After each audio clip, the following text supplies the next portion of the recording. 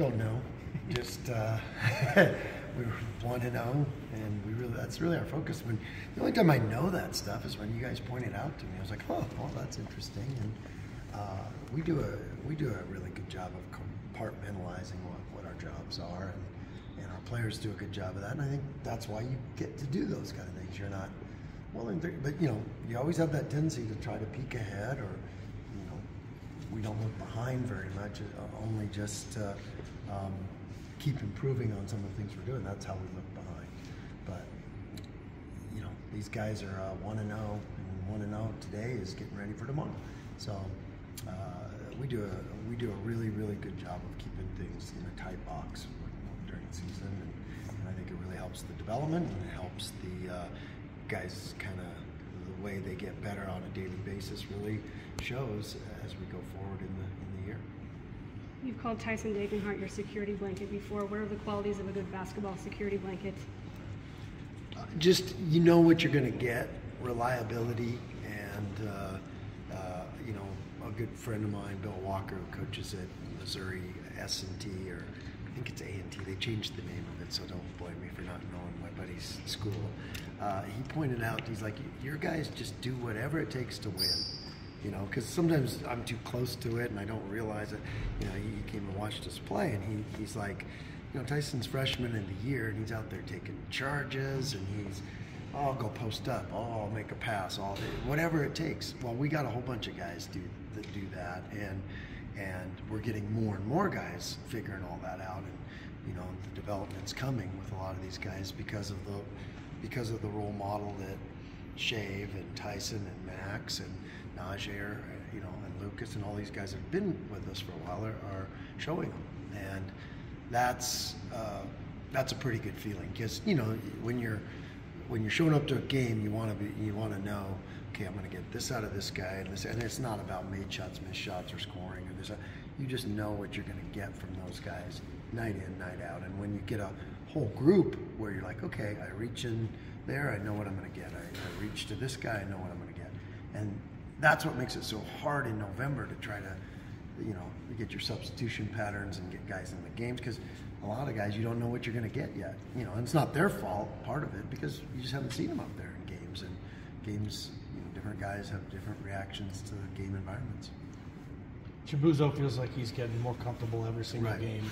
Is that just uh, maybe the new sights and sounds of everything, or is it something that you and your staff have been working on? Yeah, I mean, it, we knew you know, I think I, I, stood firm on that hill where, you know, those first two games were a bit of a struggle, and I, I knew what we're getting.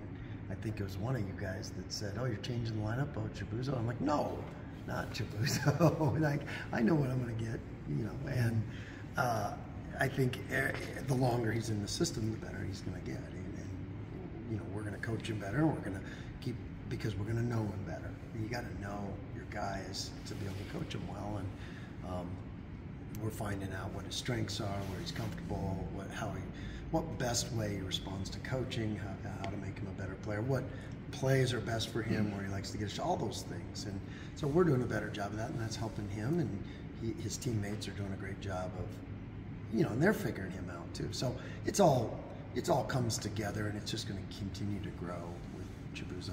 BJ was talking about, you know, Tyson Degenhart, his three point percentage isn't probably where he would want it or where you said at the beginning of the year. He's a great three point shooter. Last year he was good.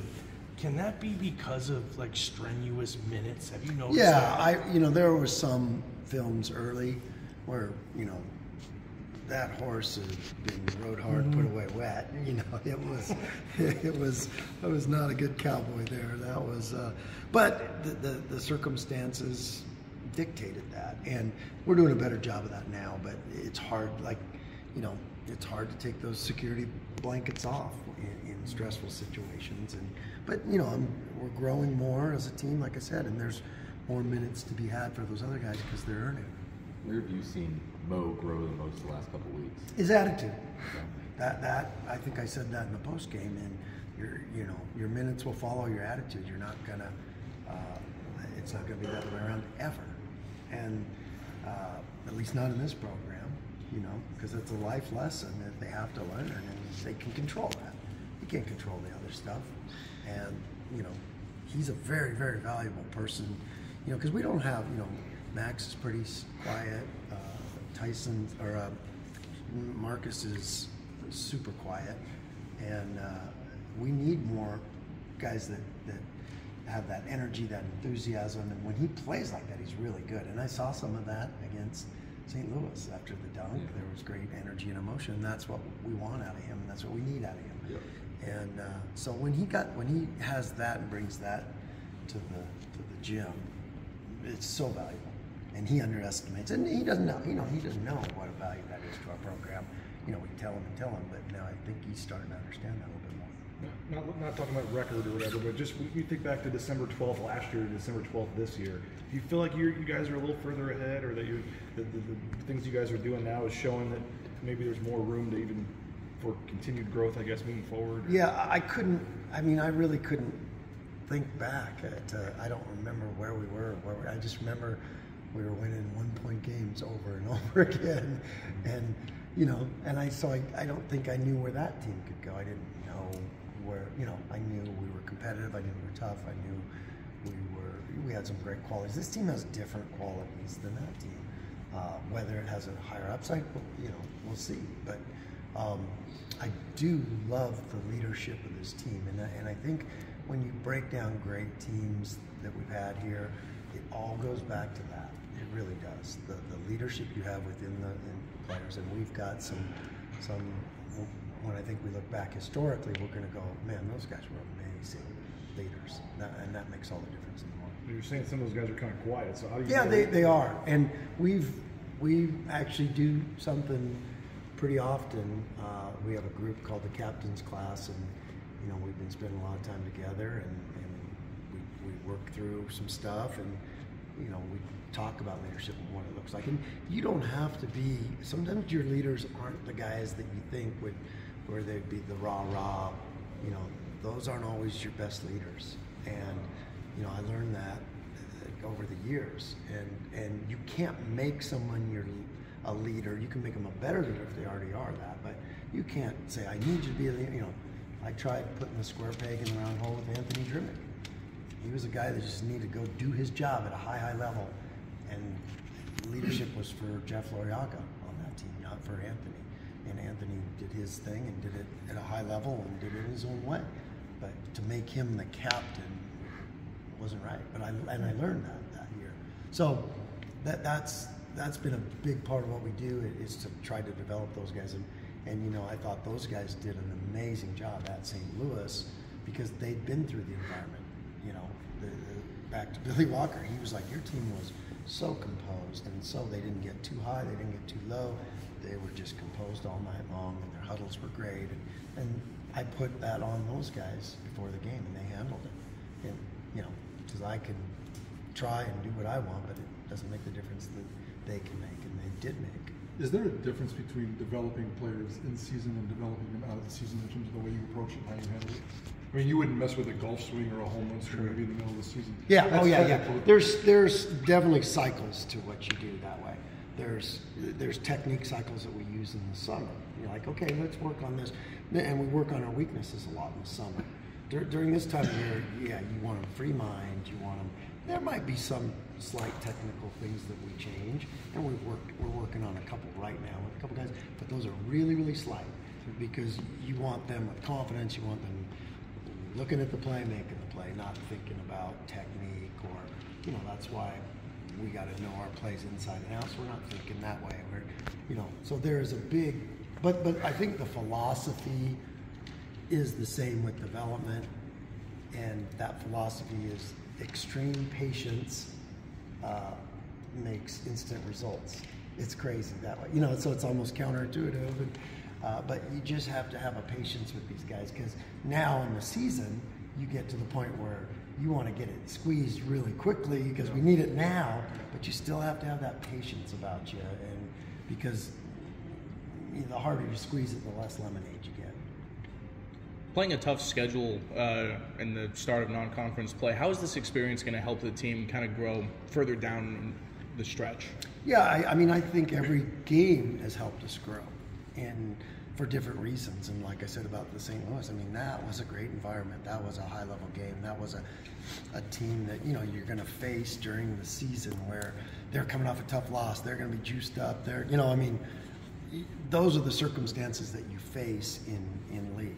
And for us to be able to stare that down and do what we did and, and accomplish the mission in a, in a way that, you know, I wouldn't have predicted we could have held that team to 52 points. I really, you know, if you would have asked me that day before, I was said you're crazy, or told me that because the, when you watched them on film, you're like, Whew, they got the best passer in the country, they got one of the best shooters, they got some of the best athletes, they got so, you know, and they're the best rebounding team we faced. So all those things were stacking up, and you're like, ooh, this is a tough challenge. So our guys really chunked it out and and uh, got got something done on the road that was pretty special. But to answer your question, all these games have given us something that we've really improved on, and that and that we're, you know, it's helping us grow.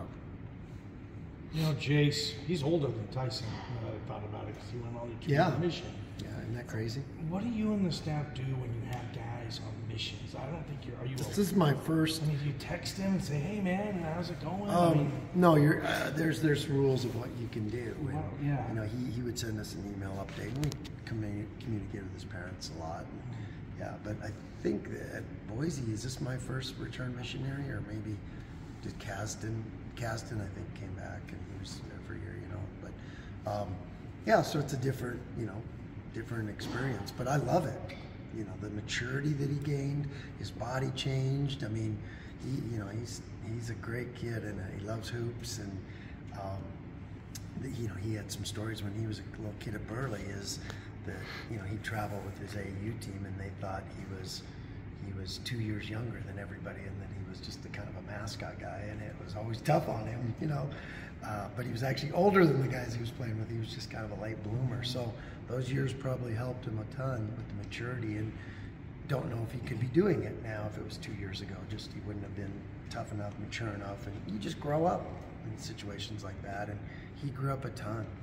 it feels like you guys aren't anywhere close to where you are without him. Like he's been a huge piece to this puzzle where maybe you weren't factoring that in. At least media wasn't necessarily, but I don't know if you guys have this record right now without Jace Oh, without a doubt. There, you know, because everything's so fragile and everything's such a fine line. You know, you look outside the top. Well, anymore, you used to be able to say that and say, "Oh, you look outside the top ten in the country, and you know, uh, they're going to roll guys nine." But it's not that way anymore. It's like every night is a fine line at every place, and you know, uh, and so you're right. The, the fine line might be on the other side if we, if we didn't have him. And you know, the interesting thing for me too is every year when you know I can, I mean, I we go over it and over it and look at the different lineups, and you know, I make a card up every year about roles and what I think guys will be doing, and I date them every year and I keep them every year. They're so interesting to look back on because every single year you have a guy that maybe you thought was even going to redshirt and ends up being a guy that I mean, you know, I, I mentioned Jeff earlier, but he was a guy that I he ended up starting for three and a half years. Mm-hmm. He wasn't on. I look back at the notes before that, and you're like, no way. So you- you just got to look at things with an open mind, and all right, let's see what they, you know, what the game and what their daily habits and what they're telling us needs to be done. And you know, they, they act like I make the lineup and I make the subs. I don't they do by how they play and how they show up every day and how they compete and hit the side button, please. And uh, uh, a lot going on in the world today. So, um, so that, that's the thing is they have control of, of their careers a lot more than they think, and that's where you know we want to teach these guys that that's the all great players know that they have that, and so he took control of it with his work, with his work ethic, with his attitude, with his toughness, you know, and because we, we've been on him, we, we knew we had to develop some guys to be the backup point and get a lot of minutes at the point and help this team that way, and uh, we coached him hard, you know, and uh, he's he handles it and he's he actually embraces it. So that's what you know. That's what's been great about Jace. Mm-hmm. Thank you.